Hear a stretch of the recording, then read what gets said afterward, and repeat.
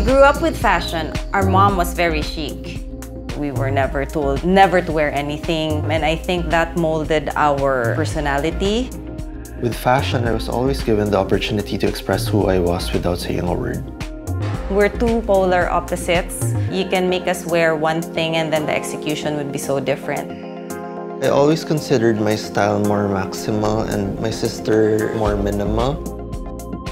I've always believed in never putting a compromise in terms of how I want to express myself. Whatever you think is the best self-expression is your personal style. The future of fashion lies on the youth. We need more young blood to inject new ideas, to change the game.